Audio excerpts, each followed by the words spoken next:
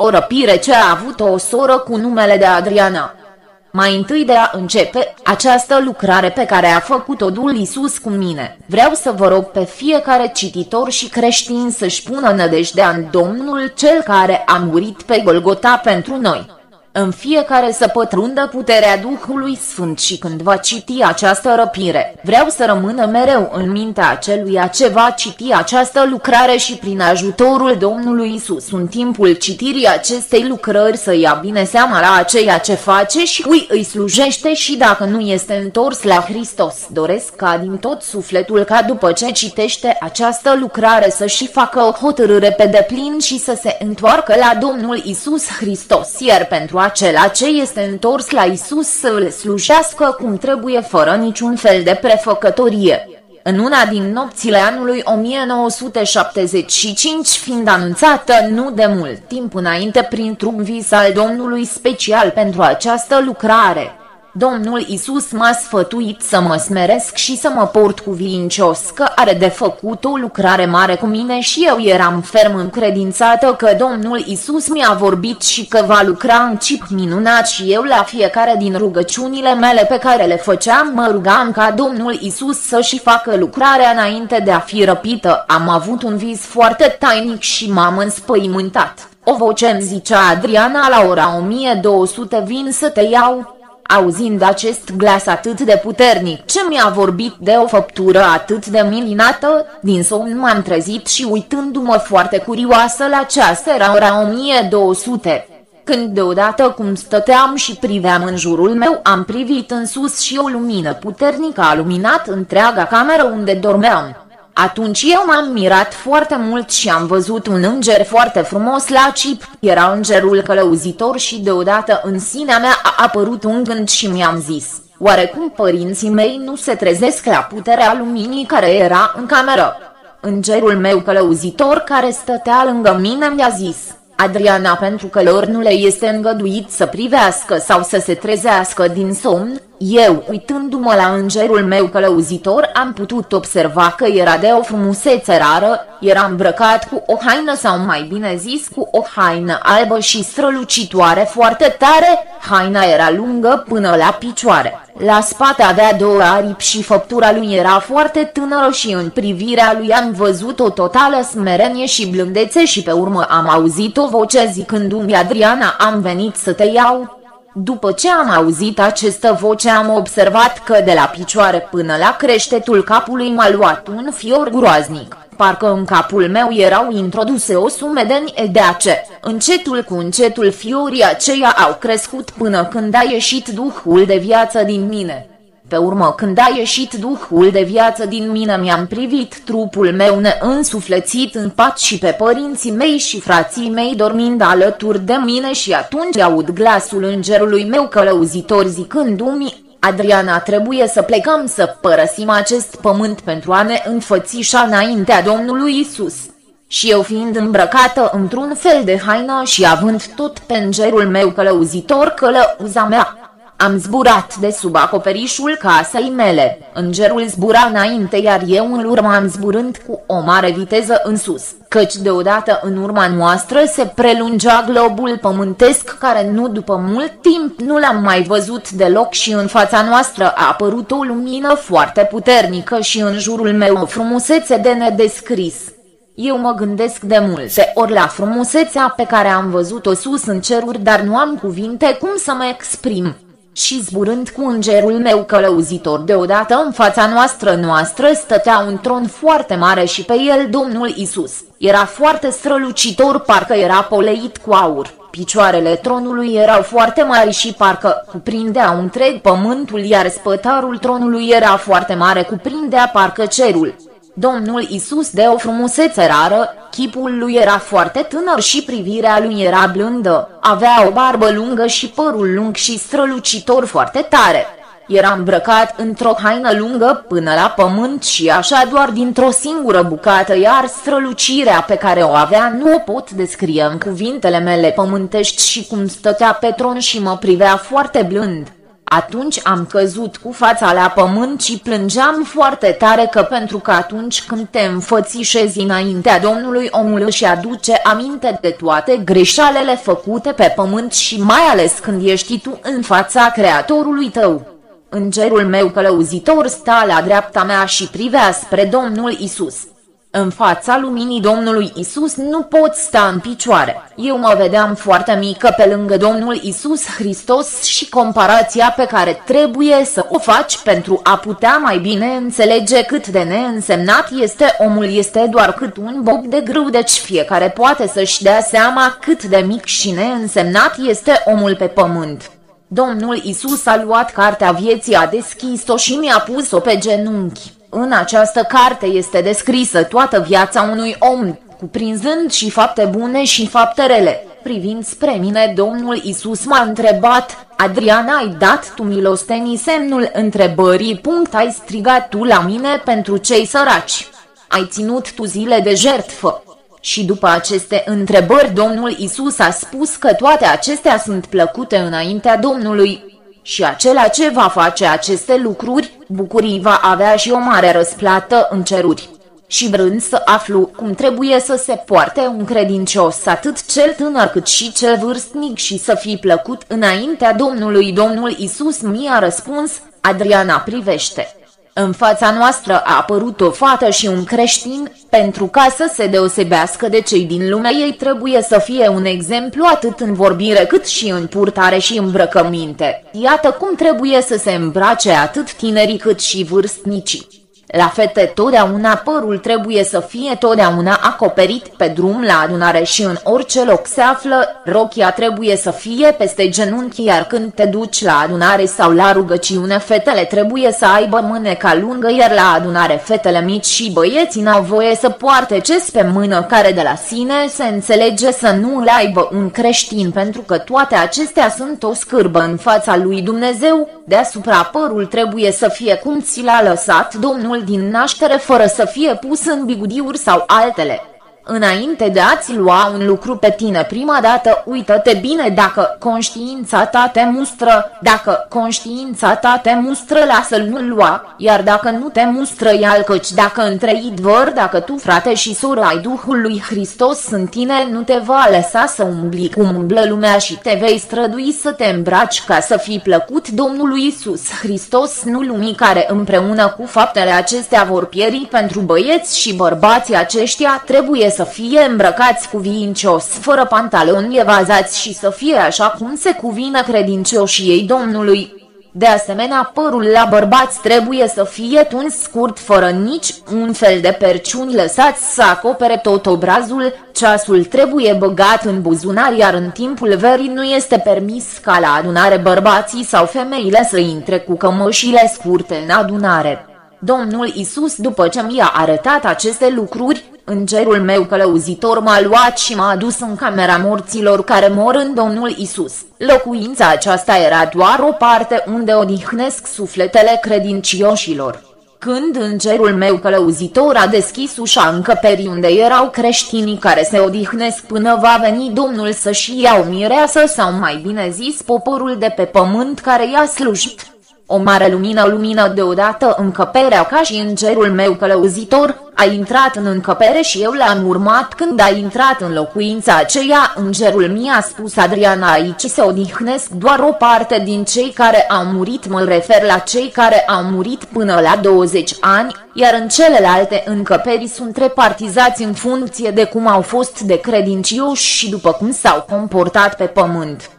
Eu am rămas foarte înspăimântată de frumusețea încăperii. Pereții erau parcă poleiți cu aur și de jur împrejurul camerei erau paturi suprapuse unde se odihnesc sufletele credincioșilor. Încă din clipa când am intrat în acea cameră am privit în jurul meu să văd mai bine înfățișarea celor din încăpere și de sus a coborât sufletul unui băiat și s-a îndreptat spre mine. Eu fiind foarte surprinsă însă de apariția lui, m-am uitat la el să văd dacă într-adevăr el este pentru că eu îl cunoașteam de mică de când era pe pământ înainte de a muri. El s-a apropiat de mine și mi-a zis, Adriana, ai venit pe la mine. Eu i-am zis, Da frate am venit de pe pământ că Domnul Isus a avut un plan cu mine de a te vedea și pe pământ și aici în camera asta unde sunteți aduși pentru a vă odihni până când va veni el și stând de vorbă cu el. Printre altele mi-a spus Adriana când te vei întoarce pe pământ să le spui părinților mei ca nu cumva să se lase de calea aceasta a pocăinței că dacă unul singur din familie se va lăsa de credință atunci eu voi rămâne la judecată pentru că a fost fost dus în camera aceea numai că părinții lui sunt credincioși? După aceea îngerul meu a zis, Adriana trebuie să vezi și iadul și după ce mi-a spus să nu mă înfricoșez de el, că el va fi cu mine că nu este îngăduit căci și ei știu de credincioșii Domnului Isus și erau înfățișate înainte de răpirea mea și nu se putea atinge de mine și numai să mă înfrice și spunându-mi acestea deodată am căzut în jos ca printr-un vis într-un loc foarte întunecos și într-o căldură foarte mare. Eu foarte mirată m-am uitat în jurul meu și nu îmi venea să cred despre ce era în jurul meu. Mii de oameni erau schingiuiți în fel și chip, sunt tratați cu o deosebită ură față de ce era în sânul lui Abraham. Aceștia erau supuși la fel și fel de chinuri groaznice, schingiuiți puși la rum, puși pe cruce și în corpli se introducea un fier roșu aprins.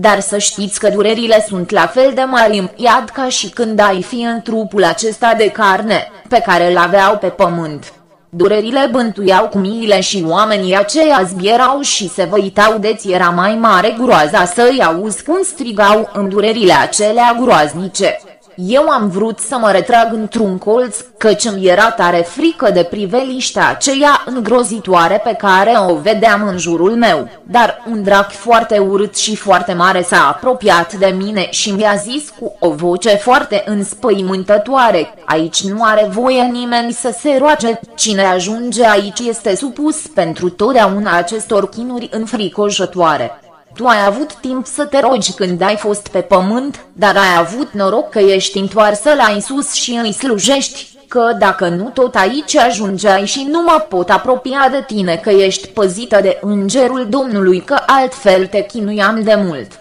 În tot acest timp cât mi-a vorbit el, corpul mi-a fost străpuns de frică și m-am rugat Domnului să mă întoarcă și uitându-mă la acel drac vreau să și-l descriu cu cuvinte pământești. Pentru a vă da seama cât de înfricoșător este numai la vedere poți rămâne cu o frică groaznică iar dacă l-ai vedea în fața ta sunt sigură frate și soră, dragi cititori te vei strădui să-L slujești pe Dumnezeu, Domnul Isus și te vei pocăi în sac și cenușă numai să nu-L vezi în fața ta, acel drac era de o statură foarte mare de circa 40 metri, era foarte negru și pe capul lui erau parcă niște solzi de pește, era înfricoșător de urât pielea lui sclipea și culoarea solzilor de pe cap era negru închis la spate avea două aripi ca de liliac și erau întinse de-a lungul capului. Privirea lui era foarte urâtă iar pe față parcă avea un strat de păr ca țepii unui arici și în cap avea două coarne mari.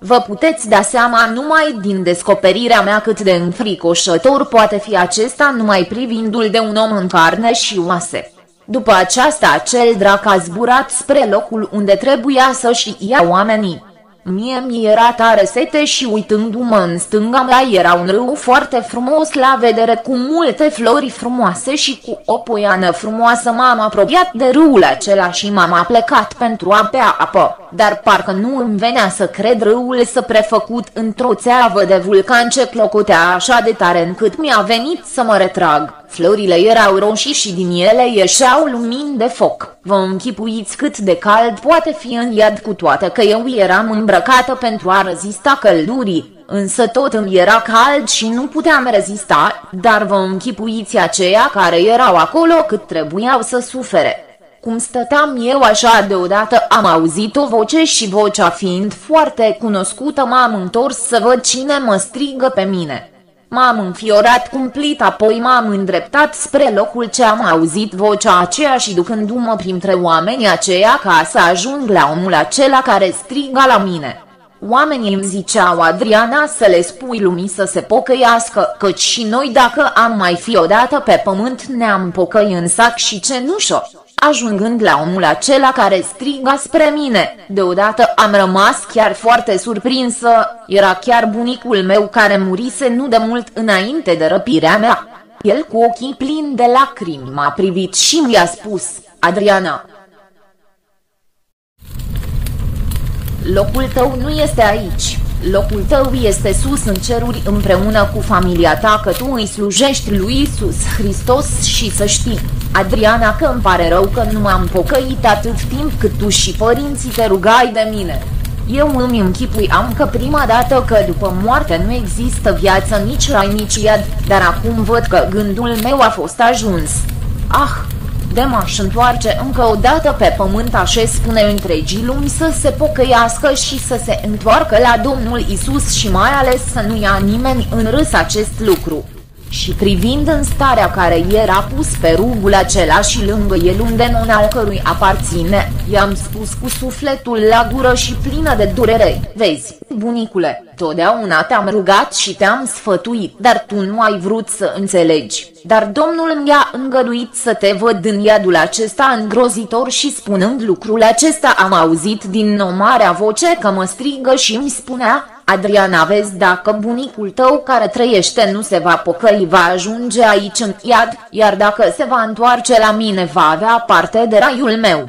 Acesta era îngerul meu călăuzitor care nu era cu mine dar care mă privea și mă păzea de undeva de sus, dar eu nu-l vedeam dar îi auzeam vocea. După aceasta, fiindu-mi foarte rău și nemai putând rezista în acest loc fioros, am strigat pe Dumnezeu, Domnul Isus să mă scoată din acel iad îngrozitor și dintr-o dată am zburat afară și din nou m-am întâlnit cu îngerul meu călăuzitor și mi-a spus Adriana după ce ai văzut aceste lucruri îngăduite de Domnul Isus privește acum pe pământ și m-a dus într-un loc unde puteai să vezi tot pământul și îngerii se plimbau când în sus și când în jos și iar în sus și aduceau vești și îngerul Domnului venea foarte supărat înaintea Domnului Isus. Dar tu când făceai numai bine, îngerii Domnului săltau de bucurie și aduceau răspunsuri Domnului Isus. Dar îngerul mi-a spus, Adriana privește pe pământ într-un colț al pământului este un credincios care l-a slujit pe Domnul acum a sosit timpul să fie luat de pe pământ iar în celălalt colț al pământului este un alt om care moare dar acesta nu este pocăit și privește în ce fel moare un om nepocăit cum se zbate, cum se vaită când duhul de viață iese din el afară și când vede unde merge sufletul său. Am privit în sus în înălțime și priveam la credinciosul Domnului care era pe patul de moarte. Când un creștin moare, el este foarte senin fără a striga și fără a țipa, când vine moartea și îi ia sufletul, pentru că la credincioși când moare vine îngerul călăuzitor și îl ia, dar la cel ce nu i-a slujit Domnului vine moartea. Acea moarte seamănă cu un schelet foarte mare și poartă pe ea o manta neagră. Fiecare credincios când îi este luat sufletul de viață din corp de îngerul său călăuzitor, el este luat de înger și dus de înger să vadă raiul și iadul pentru a vedea el singur cui i-a slujit și ce cunună merită. Îi este arătat și iadul pentru a vedea cât de rău este pentru aceia ce nu s-au pocăit și nu s-au întors la Domnul Isus și ce chinuri groaznice îi așteaptă. După ce îi arată iadul și raiul, el vine și se așează din nou pe trup, dar nu mai poate să intre în el. El tot timpul cât stă, cale de trei zile în casă unde este ținut, el vede totul, vede mamă, tată, pe toți care vin la el să-l privească, de asemenea vede pe cei care vin la înmormântare când este dus și băgat în mormânt. Atunci când este aruncat primul pumn de pământ pe sicriul lui atunci sufletul și șia zborul și este dus de îngerul lui călăuzitor în locuință în sânul lui Avraam pentru a se odihni până când va veni Domnul Isus Hristos cu judecata. În schimb, la cel ce nu i-a slujit Domnului vine moartea aceea de care v-am vorbit mai sus și îi arată chinurile ce îl așteaptă după ce va fi înmormântat. În timpul acela el vede tot episodul, toată înmormântarea el când este dus pe ultimul drum și când este aruncat primul pumn de pământ pe sicriul lui. Atunci sufletul își ia zborul în iad, unde îl chinuie și unde îl va face să sufere până când va veni Domnul Isus. După toate acestea îngerul Domnului mi-a spus Adriana după ce ai văzut toate aceste lucruri trebuie să te întorci din nou pe pământ pentru ca părinții tăi să nu se scoale înainte de a intra sufletul tău în trup că atunci de spaimă se vor ivi alte lucruri și fiind călăuzită de îngerul meu m-am îndreptat spre pământ și am intrat în camera mea unde zăcea trupul meu neînsuflețit și părinții mei pe lângă mine care dormeau parcă nu s-ar fi întâmplat nimic. Eu văzându-mi trupul nesuflețit mi-a fost foarte greu să mă întorc în el și mă rugam la îngerul meu călăuzitor ca să nu mă lase din nou pe pământ că nu mai vreau să intru în trupul meu că mi este silă. Dar îngerul mi-a spus Adriana trebuie să intri în corp ca să poți mărturisi la toți ce și cum ai văzut căci prin tine și prin lucrarea aceasta multe suflete se vor întoarce la Domnul Isus Hristos. După ce a spus îngerul aceasta a suflat și sufletul a intrat în trupul neînsuflețit care stătea în pat. Eu vrând să văd dacă sunt vie, am pus mâinile pe trup și am observat că eram rece și numai după o oră trupul s-a încălzit. Îngerul a zburat și eu am rămas privind cu ochii aceștia de carne. Eu doresc ca această răpire să rămână vie în memoria fiecăruia, când o veți citi să se hotărască și să-i slujească pe deplin lui Dumnezeu. Slăvit să-i fie numele lui până în veci. Amin. Cel ce va birui, va fi îmbrăcat astfel în haine albe, nu-i voi șterge nici de cum numele din cartea vieții și vă mărturisi numele lui înaintea tatălui meu și înaintea îngerilor lui. Apocalipsa cap.3 vers.5